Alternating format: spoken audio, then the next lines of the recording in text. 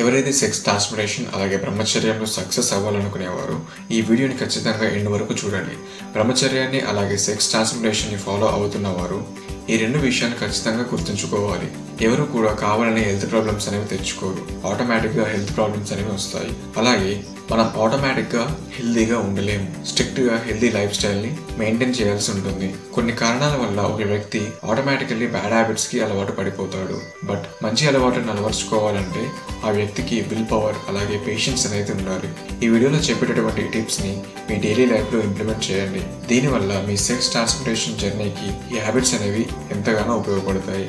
Avoid too much tasty food బ్రతకడానికి తినండి but తినడానికి బ్రతకొద్దు. ఎక్స్పర్ట్స్ ఏం చెబుతున్నారంటే ఎవరైతే టేస్టీ ఫుడ్ని తినడం కంట్రోల్ చేసుకోలేరో వారు సెక్స్ కంట్రోల్ని చేయలేరు అని చెబుతున్నారు. కొన్ని రీసెర్చెస్ ఏం చెబుతున్నాయంటే ఎక్కువ టేస్టీ ఫుడ్స్ తినడం వల్ల ఆ టైంలో ఆ వ్యక్తి యొక్క నర్వ్ సెల్స్ అనేవి సెన్సర్లా వర్క్ చేస్తాయి. అవి బ్రెయిన్కి సిగ్నల్ని ఇస్తాయి. ఈ కారణం వల్ల ఆ వ్యక్తి టేస్ట్ కోసమే ఫుడ్ తినడం మొదలు పెడతాడు. దీనివల్ల అతనికి టేస్ట్ అడిక్షన్ అనేది వస్తుంది. అందువల్ల అతను సింపుల్ ఫుడ్ అనేది ఇష్టపడడు.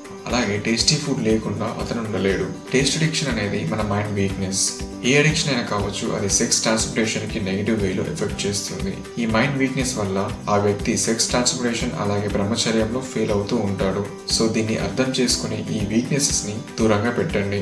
ఎప్పుడు కూడా normal simple food and nutritional ఫుడ్ని మాత్రమే తీసుకుంటూ ఉండండి. ఫాస్టింగ్ మనం మన వెహికల్స్కి ఎలా సర్వీసింగ్ చేస్తామో అలాగే మన బాడీకి ఫాస్టింగ్ అనేది సర్వీసింగ్ లా ఉపయోగపడుతుంది. Mental stress over thinking anger వల్ల మన బాడీలో ఒక రకమైన హార్మోన్ అనేది రిలీజ్ అవుతుంది.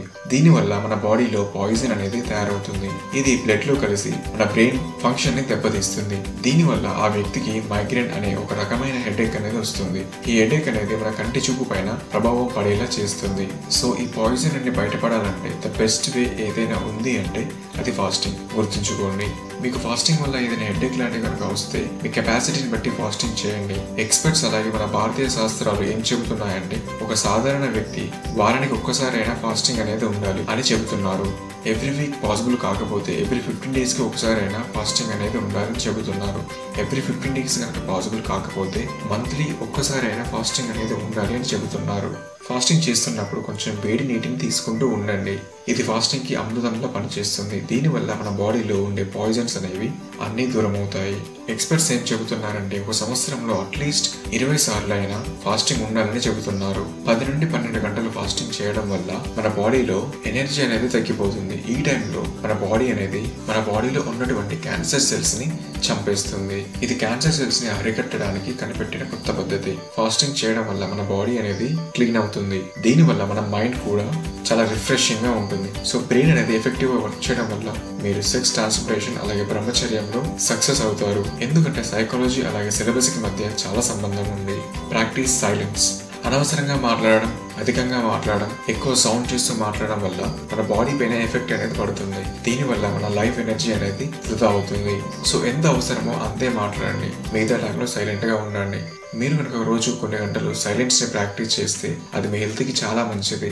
సైలెంట్గా ఉండడం వల్ల అది మీ యొక్క లైఫ్ ఎనర్జీని కాపాడుతుంది. ఇది మీ సెక్స్ ట్రాన్స్ఫర్మేషన్ అలాగే బ్రహ్మచర్యానికి ఉపయోగపడుతుంది. సో రోజు కొన్ని గంటలు ఈ మౌన వ్రతాన్ని పాటించండి దీనివల్ల కలిగే బెనిఫిట్స్ని పొందండి. మిగతా టైంలో తక్కువ మాట్లాడండి. అలాగే మెల్లిమెల్లిగా మాట్లాడండి. అవసరం ఉంటేనే మాట్లాడండి.